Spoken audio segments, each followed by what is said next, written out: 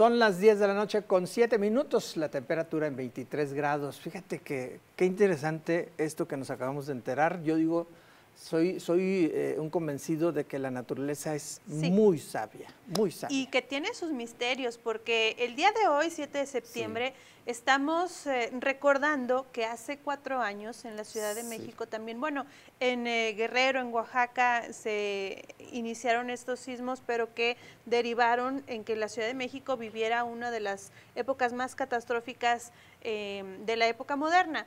Estamos hablando de que en el 2017, un 7 de septiembre, hubo un sismo que afectó a muchísimas personas, hubo derrumbes de todo tipo de problemas. Y el 19 de septiembre del 2017 también pues se, se conmemoraba un aniversario más del terremoto del 85 y pues imagínate, hubo otro terremoto ahí también que afectó a la Ciudad de México.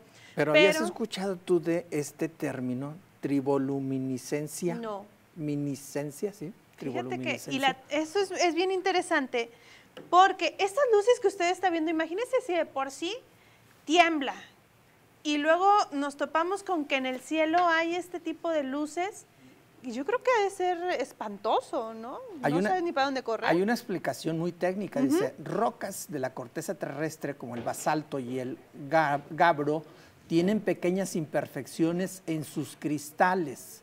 Cuando una onda sísmica golpea la fricción, libera cargas eléctricas de estas rocas. Las cargas se juntan y salen disparadas a la superficie a gran velocidad, manifestándose en el aire en forma de descargas eléctricas y luz. Se cree que solo el 0.5% de los sismos en el mundo producen estas luces que usted está viendo en pantalla, así que quienes las vieron fueron testigos de un fenómeno sumamente raro, Lucero. ¿Y sabes qué me, me da a entender o, o a qué lo asemejo yo?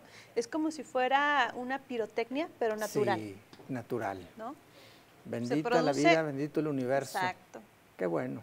Se produce dentro de la tierra, en las entrañas de la tierra, y la podemos apreciar en el exterior. Así que bueno, pues para que no se asuste, porque la gente que ha vivido en la Ciudad de México le han tocado los sismos y que haya visto esto en el cielo, pues que sepa de qué se trata. Y ojalá que el terremoto valga la pena este comentario, eh, pues no haya cobrado vidas, no haya sido este, Sí, hasta el momento bueno. dicen las autoridades que no ha pasado mayores, que se van a mantener ellos eh, revisando constantemente, monitoreando, pero bueno, pues aquí le estaremos informando. Giselle Barreira tiene más detalles del tiempo. Buenas noches, adelante.